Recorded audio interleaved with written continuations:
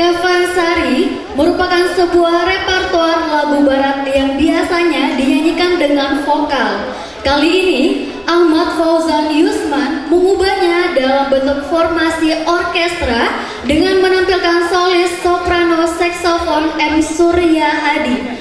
Adapun konduktor dalam karya ini adalah Ahmad Fauzan Yusman. Hadirin, mari kita saksikan bersama Karavan Sari.